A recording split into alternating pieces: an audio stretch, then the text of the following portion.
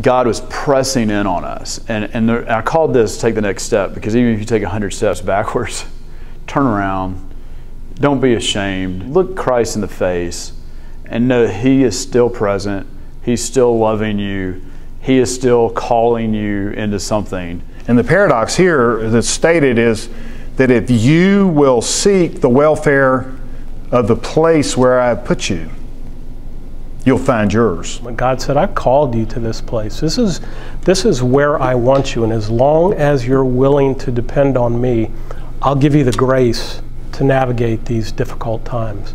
We're believers. God is in us.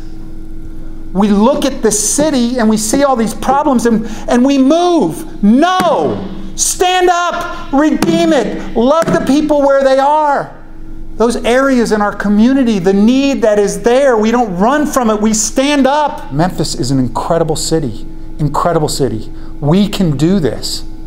But it's going to take people, Christian men, women, standing up, plugging in, not accepting the status quo, not moving away from it so I can be safe.